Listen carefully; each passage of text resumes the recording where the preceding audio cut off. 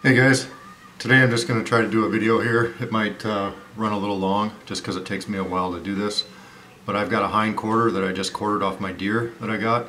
Um, and I'm going to process it up. This is the way I do it. Doesn't mean it's right or wrong or whatever. It works for me.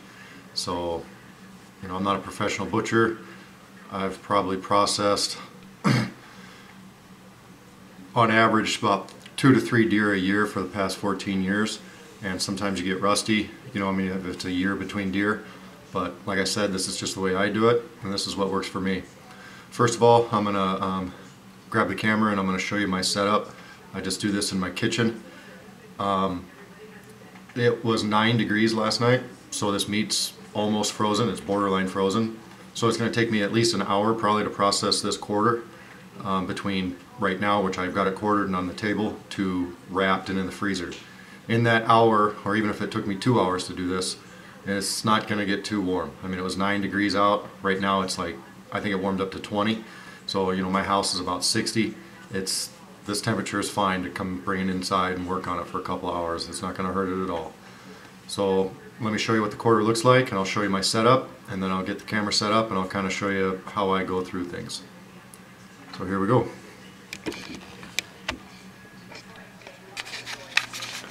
Alright, so here's the quarter. Um, I've got it on a piece of butcher paper. I've got a couple of cutting boards set up. As I take the different cuts off the meat, I'm going to put them in this bowl. And once I get all my cuts of meat in that bowl, I'm going to take them over to the sink and I have a colander set up and I wash all my pieces of meat uh, rinse them. You know, I obviously don't wash them with soap or anything, but I rinse them all off, uh, make sure they're, you know, no hair, no dirt, no nothings on them. Um, that's also where I will just double check and make sure I got all the fat and all the silver skin off that I want off and then I'll take it over to my island and that's where I have my wrapping station set up. On this particular cut of meat I'm probably going to use a couple of knives here fillet knife. I also have this bigger fillet knife. Some of the steaks sometimes get bigger uh, just for cutting them up. So anyway, that's what I'm going to get get started on. Um, I'm going to set the camera up and I'll get going. I'm also, I uh, don't have a trash bucket with me. I'm going to put a trash bucket so all my fat and silver skin and stuff that I don't want is going to go right in my trash bucket. So I'll get set up. Oops. okay guys, the first thing I want to do getting started on this is kind of remove some of this fat and some of this silver skin so I can see where the different muscles come together. Um, that's all that processing this is, is just separating the different muscles into you know separate groups. This hindquarters, this is where you're going to get most of your good steaks out of. Um, there'll be some trim, of course, and some roasts. But in order to see where everything kind of comes together at, I've got to get rid of all this fat and silver skin. You can kind of tell right here, there's a little bit of a separation, but you know, I can't hardly tell where anything starts or ends with all this fat on here. So I'm just going to start grabbing some stuff and just trying to remove some of this fat. If I wanted to, I could save this fat for rendering down, but uh, I'm not sure if I will or not.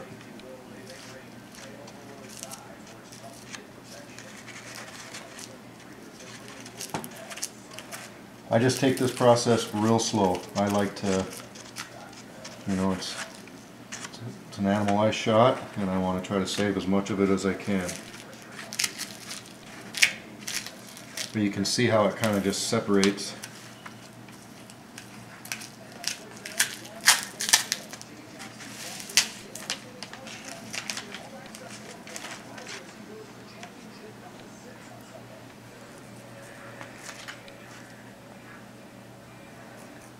venison fat tastes absolutely horrible.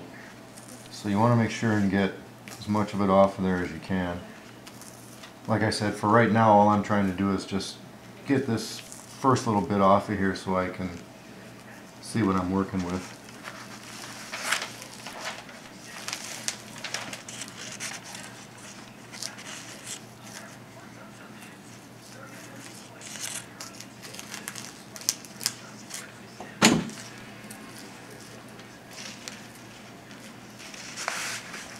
See a separation right here.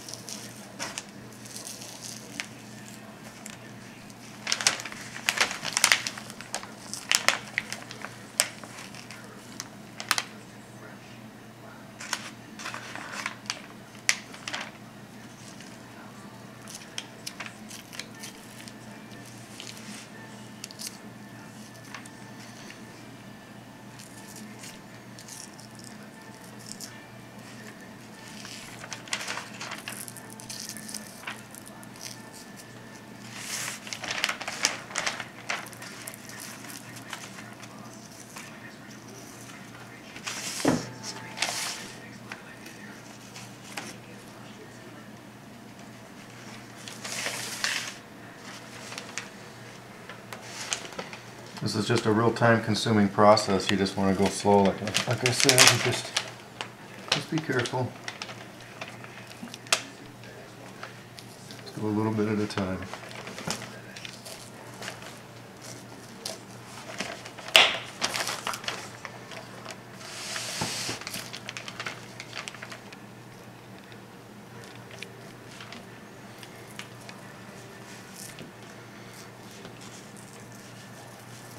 This is all the good fat if you want to use that for rendering down. I've been told you can cook with it, but I can imagine that uh, whatever you do cook with it must taste like crap because like I said, venison fat is nasty. So I think there's a separation somewhere here. I'm going to try to carve out a little bit of this fat. See if I can separate the muscles here. Alright, well I'm just going to keep trimming on this and when I start getting to the muscle separations then I'll get back with you. Okay guys, well I got some of the fat taken off of here and I'm starting to separate the muscle groups. You can see here this is starting to separate so I'll just cut that off of there. This is starting to separate here. You got some of this connective skin here, you just kind of slice that out of there.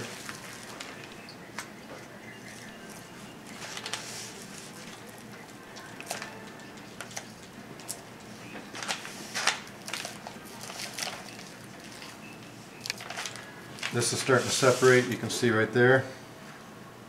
You can tell there's kind of a natural line, so I'm going to try to follow that.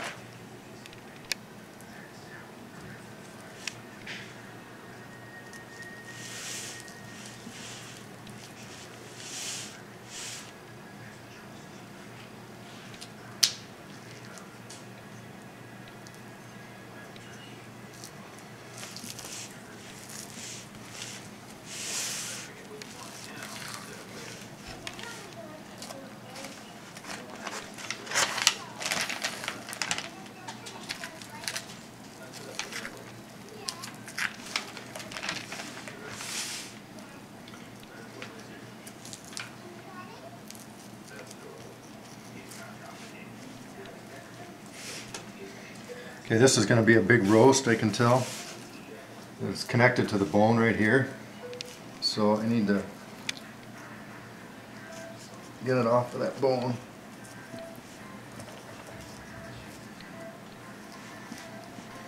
And if I mess up and cut a little more of this, if I miss some of the meat and leave it on the bone, that's okay, that's just what's going to be trim. You can convert that into hamburger, or this year I think I'm going to splurge and I'm going to take it into this place that makes uh, real good jalapeno cheddar beef sticks. Now I could do all that stuff myself if I wanted or whatever, but uh, at a buck a pound or whatever they charge, it's pretty darn cheap and I think I'll just let them do it.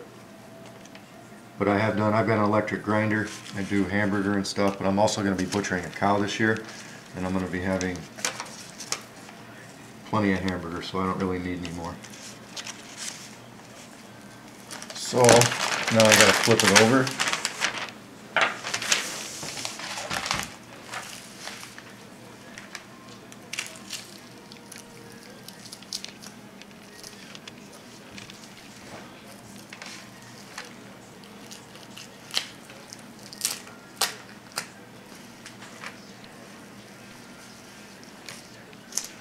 All right, so this is mostly gonna be, you could, no, obviously you're gonna wanna trim this up and we'll show a little bit later about trimming this stuff up.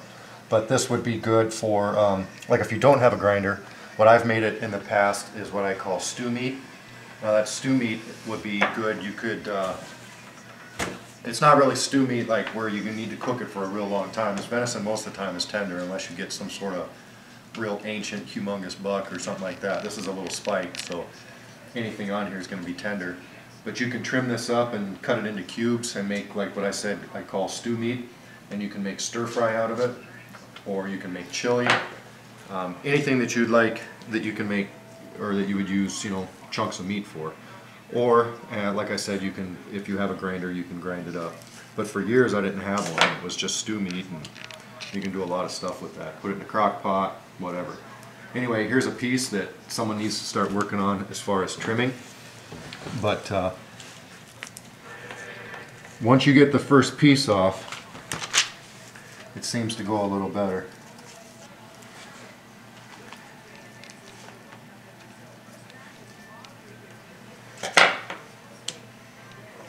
Wouldn't mind getting this piece off here. See what this looks like again.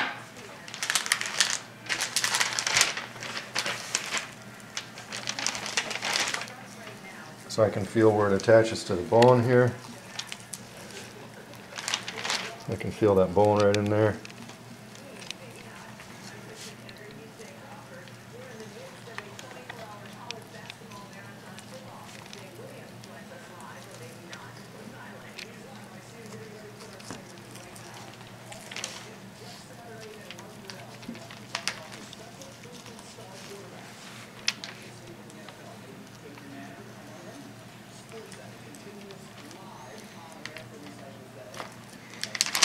Now that's a nice piece of meat right there. Once I get trimming this up, I'll look inside of it, see how gristly or how much tendons inside of it, and I'll be able to determine whether this would, you know, I could make some chops out of this, or if it's got too much tendon and gristle in it, then it will be a, uh, you know, stew meat or piece of trim. But most of the hindquarters you get, that's where you get your best meat out of. So now, I'm going to start separating the silver skin again because I want to try to get this roast out of here.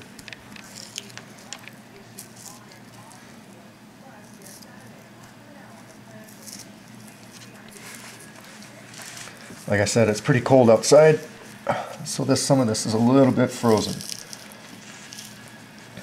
A lot of it'll work, obviously, as you can been seeing or whatever, work loose with your fingers. Then you don't worry about cutting the wrong piece of meat. Because if I remember right, this is all your steaks right here. Once I get it cut up, I'll be able to identify what, what pieces they are, but uh, pretty sure that's all the steaks. Just cut some of this connective tissue out of there.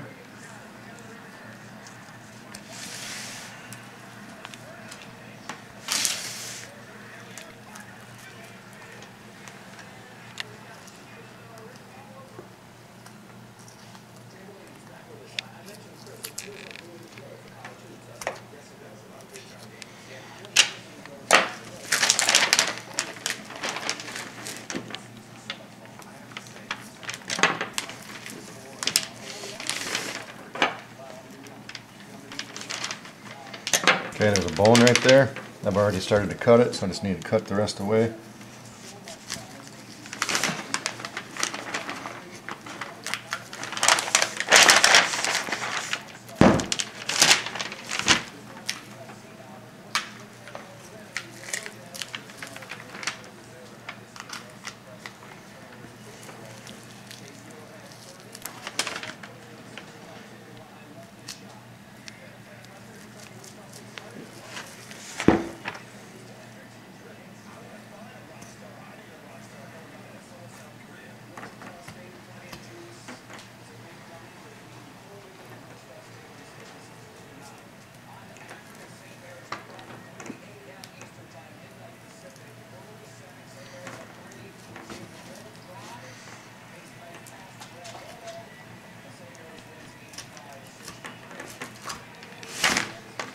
All right, that's a nice roast.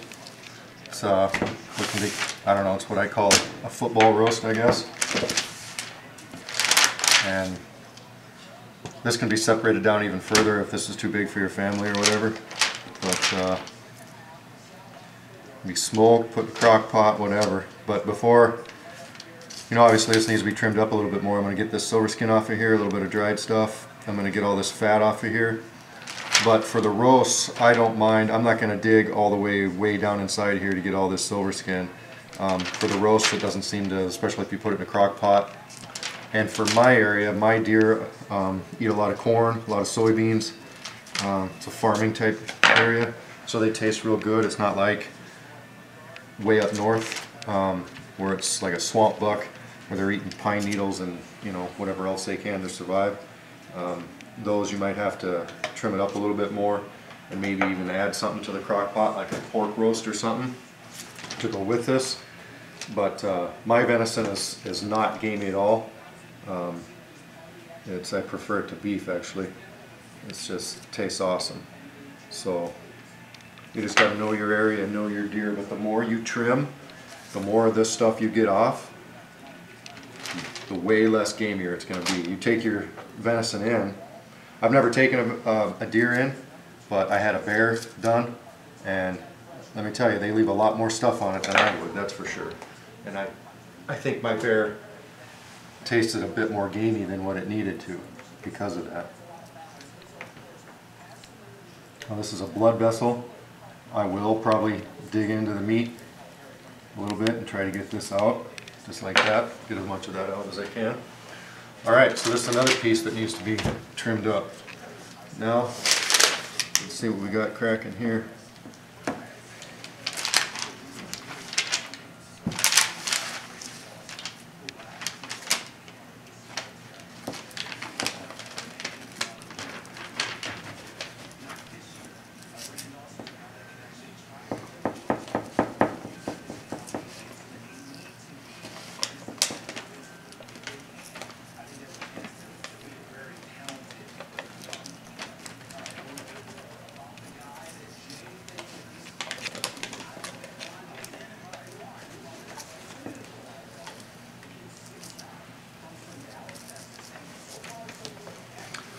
All I'm doing here is just I feel the bone, cut it loose from the bone. Trying to anyway.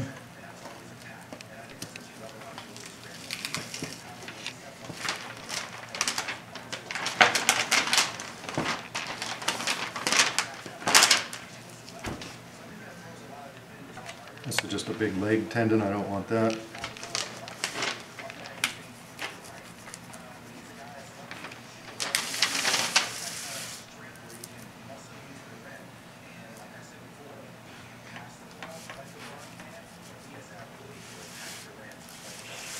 I'm not too worried about this. I'm just going to follow this leg bone and try to disconnect it here. But if I was real concerned about saving every last little scrap of meat, which I am, but like I said, a lot of it's going to, or some, whatever's left over is going to go to trim. But if you wanted them all, if you just wanted to be a little more careful or whatever, you could just, you could keep separating this, cleaning this up, and the muscle groups will become even more identifiable.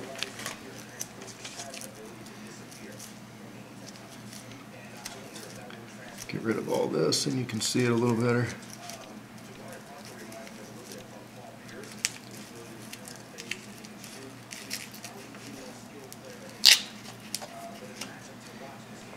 So now I for sure can tell that's all bone.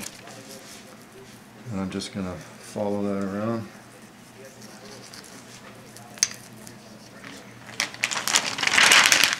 I know there's a bone right there.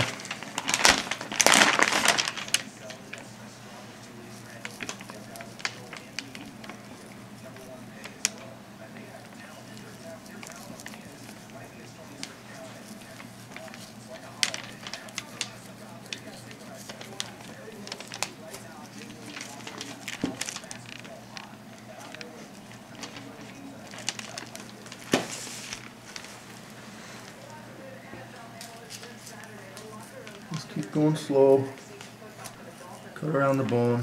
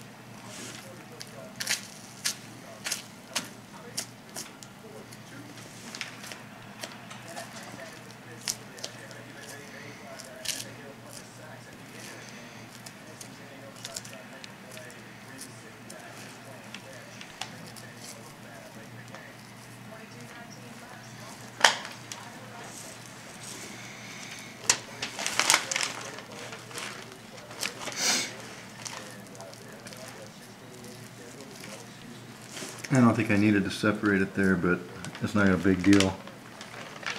If I'd have kept it together, it might have been a bigger steak. Like I said, this is the first one I've done since last year, so sometimes you get a little rusty. But even if they're not huge steaks, you can still just make chops out of them. And I'll show you that in a little bit. I do a, a butterfly chop we tend to like.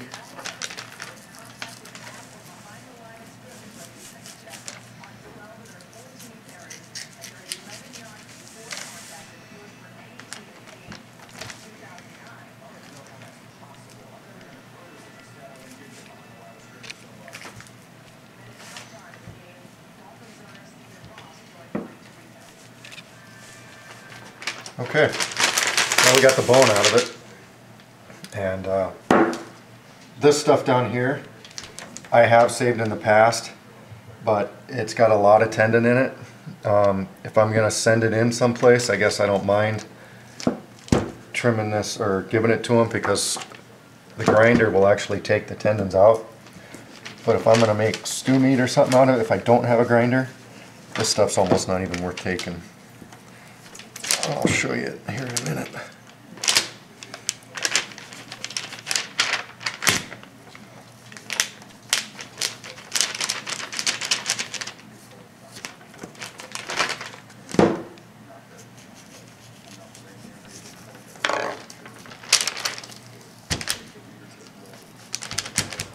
This one's not too bad. But like on the front shoulders and stuff, you get a lot of this gristle, but you can tell that's a tendon, that's a tendon, that's a tendon. So these just take a little more work. But I'll, uh, I'll just remove this outer silver skin and throw it in the trim bucket and the guys that I take it to can worry about it. Like I said, that grinder will take that stuff right off. So now I'm just going to, same thing, just cut along where I can see the muscle groups and not be too finicky about it because like I said all this stuff's just going to be trim.